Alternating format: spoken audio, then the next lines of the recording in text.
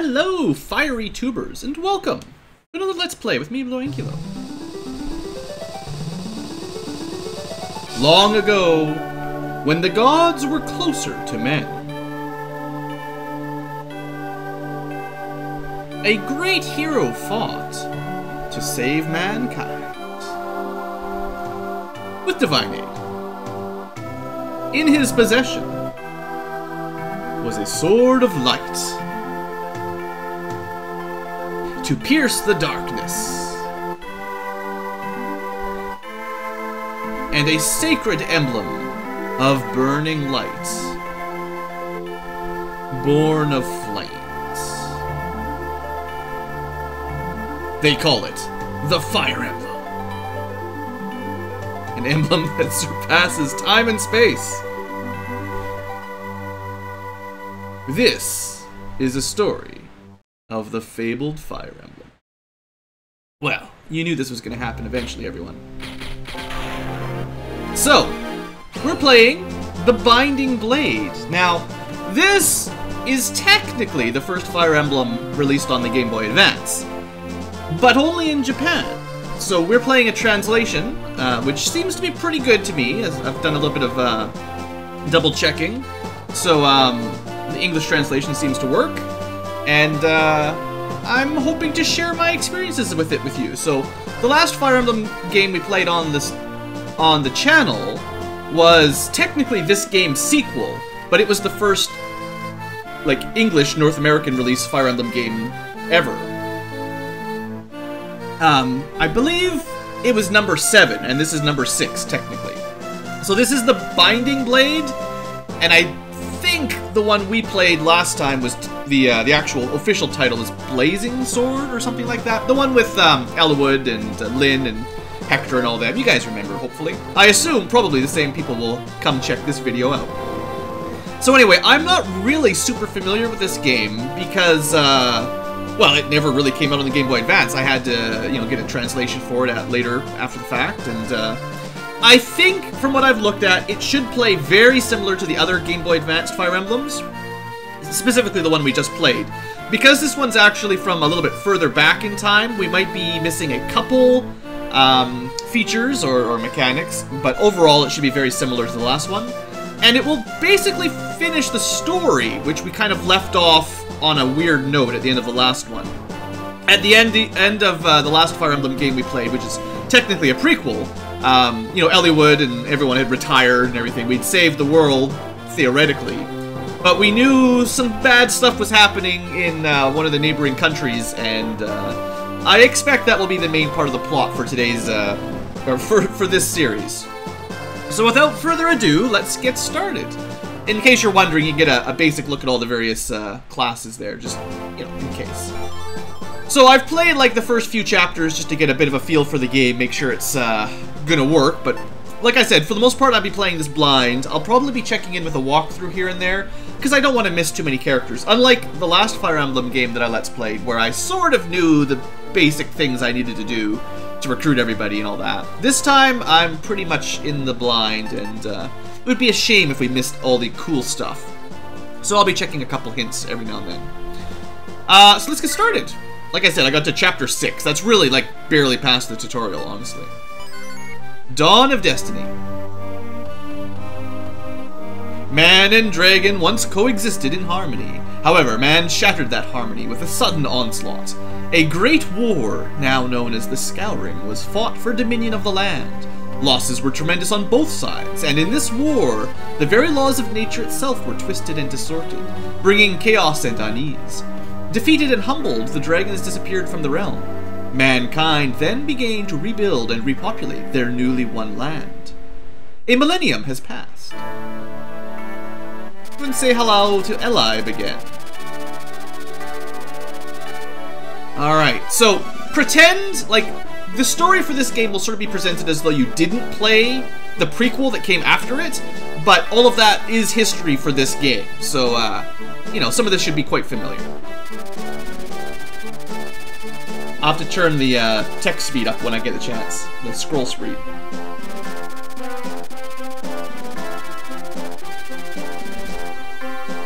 I don't think we spent much time in Etruria in the last game, although we had some characters that came from there. Bern's the one with all the Wyvern Riders, I think.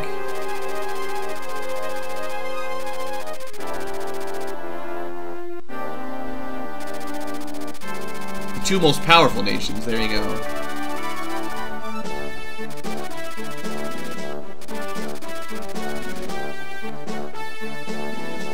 Hey, the Lycian League! This is where, like, our hometown is, right? The Marquise. Ilia's, the Pegasus Knight area.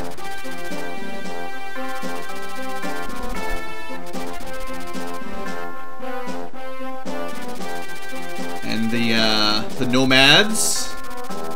Certainly met a few of them.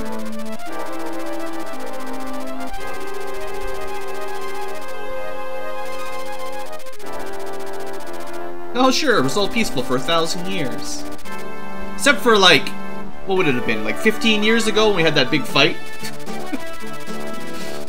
Don't worry about that. Oh, that King Zephiel again, hey?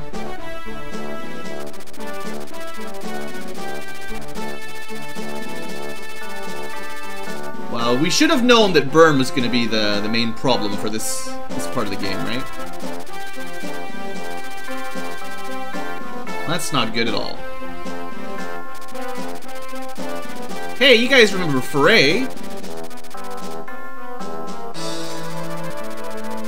And Roy, you may see on the side of the screen as well.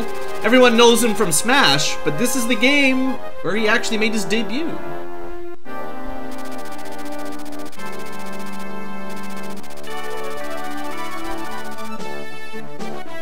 In training. Man, we're getting old. Ah, uh, poor old Eliwood. I think it's supposed to be like 15 years after the last game. Maybe 20, I don't know, I forget exactly. Oh man, even Hector. I mean, he's got a mighty beard, but he's looking pretty old. He was the star of the last game, clearly.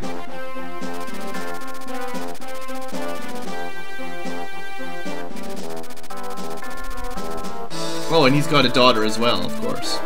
Now, technically, all of the pairings and stuff I made for marriages and children in uh, at the end of the last game, they're not, like, explicitly canonical, but it's pretty close. I don't think Lyn is actually in this game at all. Uh, she was kind of sort of retconned in on the, uh, the prequel.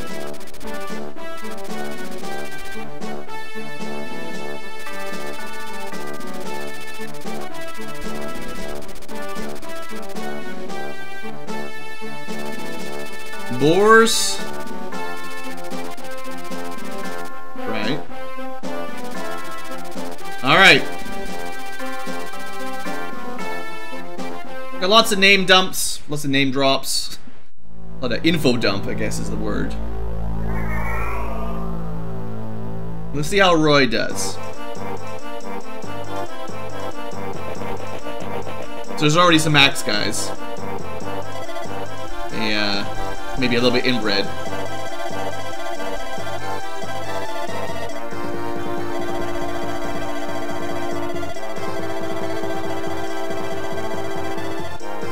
Come on, that's rude. Just because he's getting old.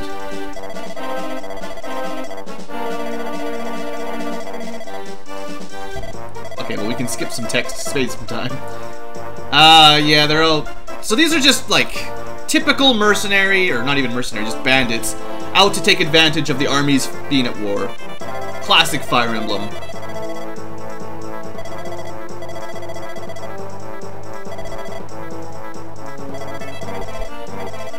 Kill everyone, man. Alright, well that's pretty classy.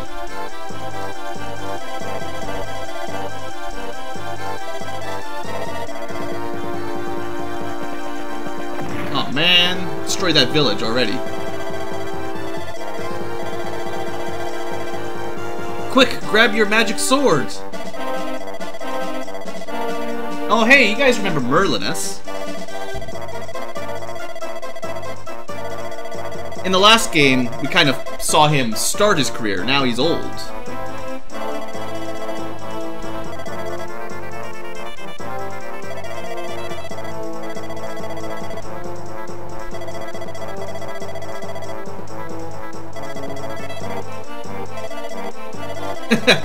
Yeah, Hector would probably be pretty upset if his daughter was harmed.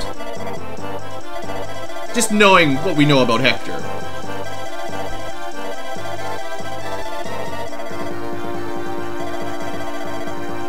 These dastards!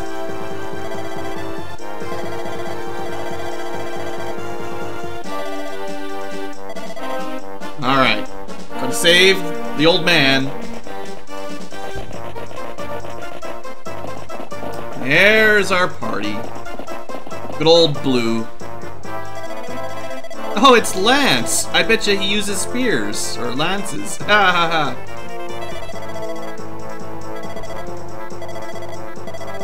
Alright, we got bandits. So we got the green and red knights right at the beginning of the game, as is the way of Fire Emblem.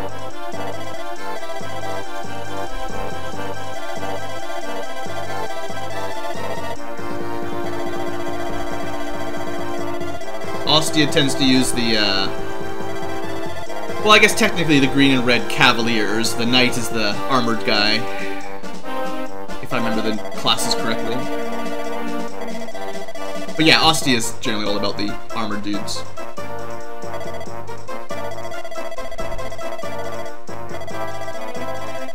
Oh, it'll be fine. Let's go take the castle. There you go. Oh look, and here's our old man who's probably pre-promoted and terrible. it's uh, a bit of a theme for these games. Two arms then. Alright, so, we do start with Marcus. I think he was old in the last game, now he's even older. Uh, he's lost all his levels.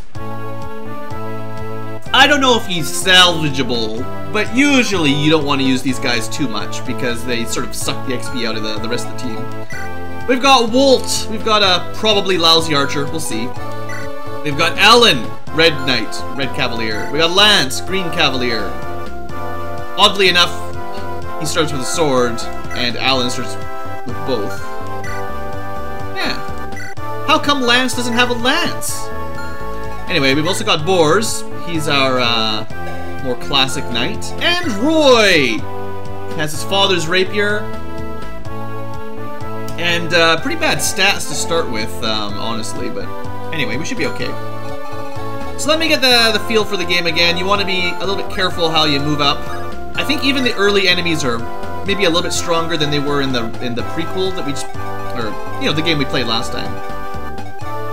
Uh, one thing we might want to do is move over either the Silver... Well, what does the Silver Lance require? Oh, okay, yeah. The Silver Lance requires an A skill, so I can't really give that to the other uh, Cavaliers. Um, I could give the Iron Sword to somebody if I wanted, though, if, if uh, nobody had one. Oh, I could give that to uh, Roy, and that way he won't have to waste his rapier too much. I might do that. But we're a little bit short on weapons. Alright, so... Yeah, we're gonna do that. So, Bors is kind of our tank to some degree, pretty good defense, but he's kind of weak. If you if you don't know the Fire Emblem stuff, you know, just a quick recap. Axe beats uh, Lance, Lance beats Sword, Sword beats Axe, so there's a bit of a weapon triangle there. So you generally want to have someone ready to fight these guys that uses swords. Now, I could be aggressive here. I don't really have any healers or anything. Maybe I should play the defensive route. Let them come to us. On the other hand, you have to be fairly quick usually to get to, to actually save all the villages, right? Like probably this guy's gonna move down to destroy the village or something. You also get a defense bonus in forests, certain terrain. So it's like minus one damage and 20% chance to avoid in the forest there.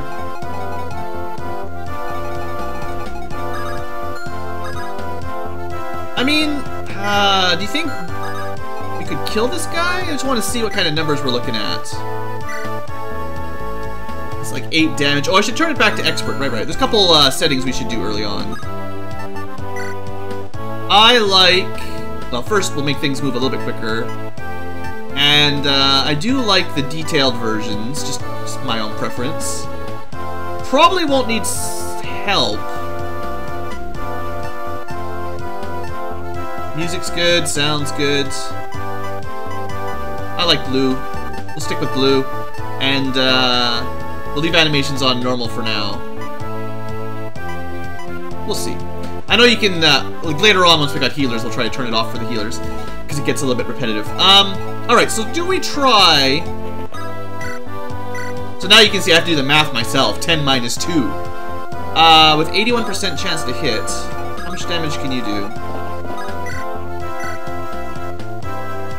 Uh, let's see. Attack speed is not high enough to get a double. We'll do about 11 damage. So 8 plus 11 is not a kill.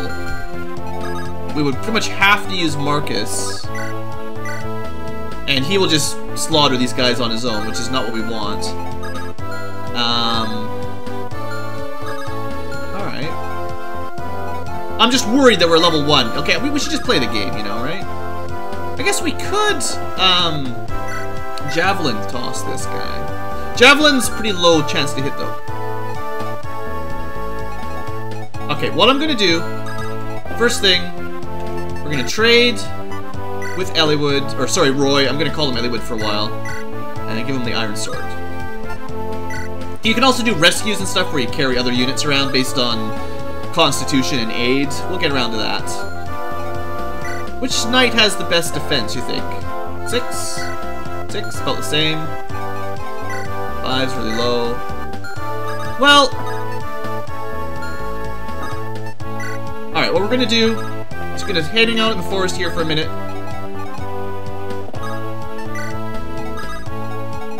Uh, we should be fine. They'll probably attack either Bors or Marcus, and then we'll kill them. Actually, he can only attack the one. Perfect. Alright, we'll just end the turn let's get going. Already wasted enough time getting started here. Alright, so we got two going that way, one going this way. Awesome, totally just dodged it. Got our counter in. A little bit of XP, you know the drill for these sorts of games. It doesn't look like they're going after the village, so this is, I think, probably the right choice then. Okay, so I would like to kind of feed uh, Roy some kills early on if possible. Will do just enough damage to kill it. The Iron Sword would also do enough damage. So what's the advantage with the Rapier here? Just uh, a little bit higher chance to hit and some crit, but it's kind of a rare weapon in a sense. You can't just buy them generally, so you're kind of better off using the Iron Sword if you don't need the, the better weapon. Get stabbed, yo. Alright. So we start with Roy.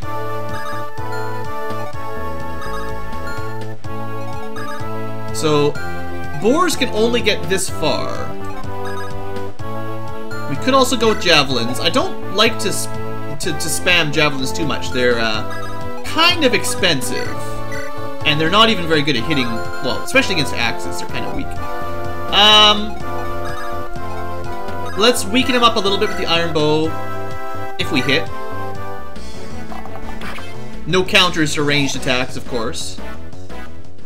And uh, I don't think we'll be one-shotting him here.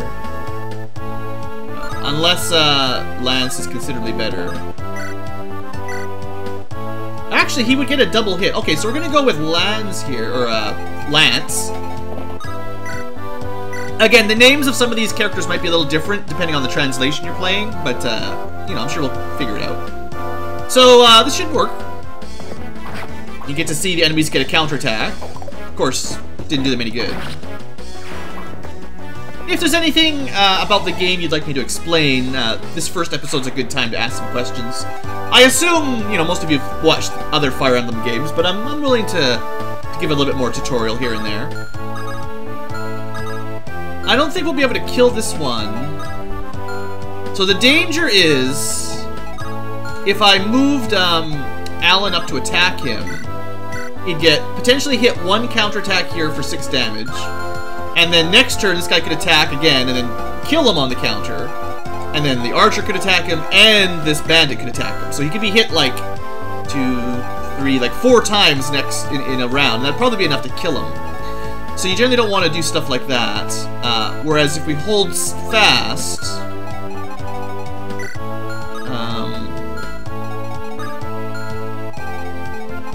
can basically block the weakling archer, or even just pick him up if you wanted. Make sure we've got the iron sword equipped. Uh, I wonder... So there is another kind of trick you can do. Uh, and this is uh, advanced level strats. If you give your Marcus type characters, the ones that have really high um, physical defense, they're pre-promoted, we don't want him stealing kills.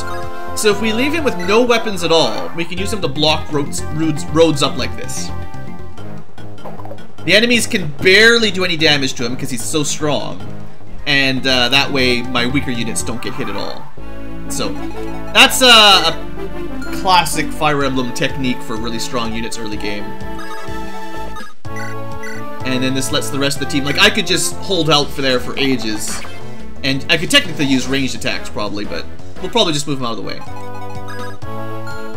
Alright, so we could get Alan up there. I assume their archer isn't that strong. We're looking at like 10 base damage minus your defense. That's pretty weak.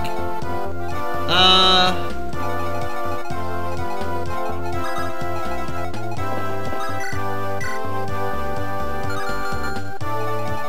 Gonna move Marcus out of the way. I just want to see if we can do enough damage in one hit here.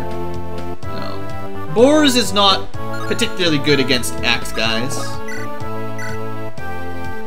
This should work. We might take some damage, but uh, hopefully we dodge. So far, Lance has been on a roll.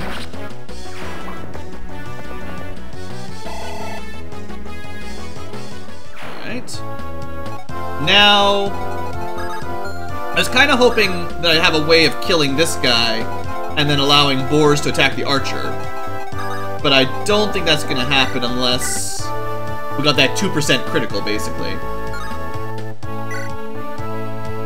So, what's Bors's chance of hitting this guy? 62% isn't great. Won't take much damage on the counter, though, so it's not a big deal kind of didn't put Roy in the right spot. This would be 9 damage, almost for sure. We take a lot more in counter. Okay, so what I'd rather do is if someone takes a counter attack, I'd rather it was Bors. There's very little chance they'll be able to kill him. Alright, well,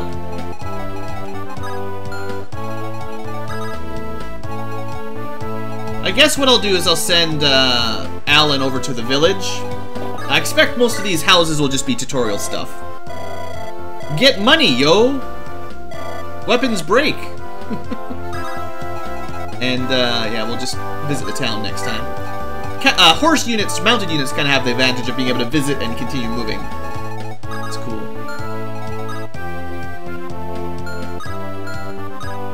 Alright, so if the archer wants to attack uh, Roy, that's fine. Just try to keep him from getting double hit.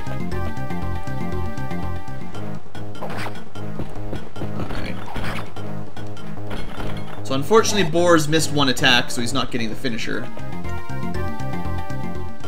The enemy will often focus on your lord, uh, because they know you lose if he dies. Alright, so... How do we deal with this? Get up to here. About 9 damage. I was gonna visit this, this village, but uh, maybe first off we should do this. It's 10 damage. Wait, wasn't Roy only like 9?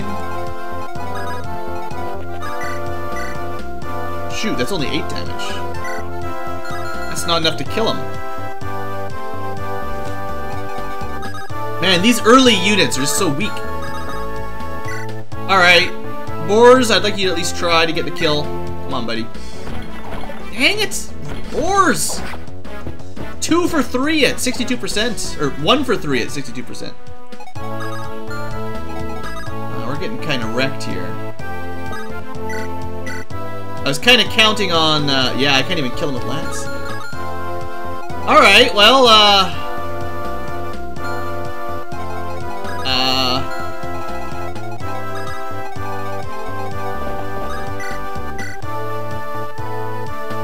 basically need a crit or something here? No.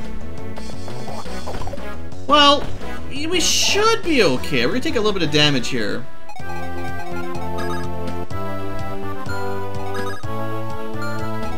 I don't think I've got a way of...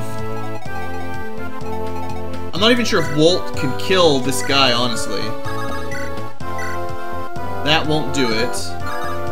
So I guess we'll just have you run around to help out with Roy. See. Yeah, that's no better at all. So there's almost no way to kill this bandit. I was really not expecting Bors to miss two out of row. Two out of three. Alright, well... Sometimes the enemy likes to attack people with no weapons because they know they don't get a counter. You get a double attack, but it's only going to do 7 times 2. Actually can't leave Roy here, because then both bandits and the uh, archer could hit him. How much damage does this guy do? Like 7? I actually can't put Roy here either I mean, it's only a 36% chance to hit, but that's enough that if Roy gets hit here, and then on the next turn the, the bandit attacks him, he'll die. Well, isn't that great? Alright, well, we're going to switch around here and vulnerary up. Don't be afraid to use your vulneraries. Come on, Bors.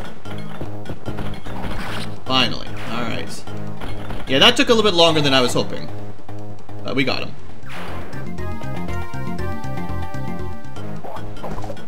Alan, you just gotta do a little bit of dancing around. This should be fine. Yeah, I don't know what this archer's thinking. So if you attack with a ranged attack on a ranged unit, uh, they will get a counter, uh, assuming they don't die. Like I was saying, I really do want to feed uh, Roy some kills if I can. Because he does start really weak. He's got to get that level up.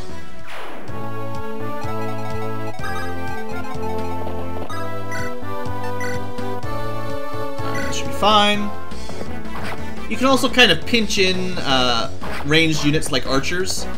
So, um, if we surround him with melee units so that he can't move, like this, um, even if he survives this attack, he won't be able to move and he won't be able to attack at range, at melee range, so. Not that it's generally a huge deal this early in the game, you know, good to know.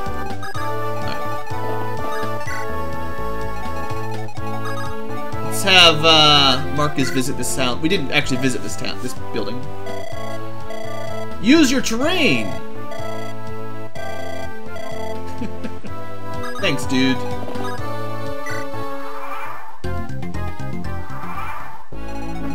Alright, what do we get? Usually you get items for this, but we'll see. Sometimes you have to spend, send a specific character to these villages as well. Hey, some money. Alright, and now the village is closed off, so bandits would not be able to destroy it.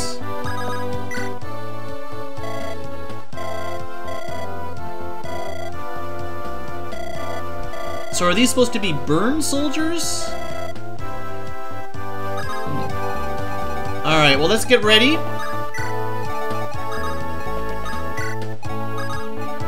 Uh, how far can these guys move? Oh yeah, just, just I actually just guessed the right spot. Stuff. I think Bors is gonna need to heal up a little bit. One, eventually we'll get a cleric or something, probably before too long, and that'll uh, preserve our items a lot more.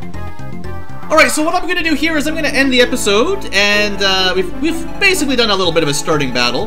Um, we'll finish off Chapter 1 next episode, I believe. We'll deal with Damas, who's the boss here. Level 5 fighter, surrounded by his level 1 fighters, but uh, it should be okay. So thanks for watching, everyone. Hope you've enjoyed. Hope you're excited for the series, and I will see you next time for more uh, Fire Emblem: The Binding Blade.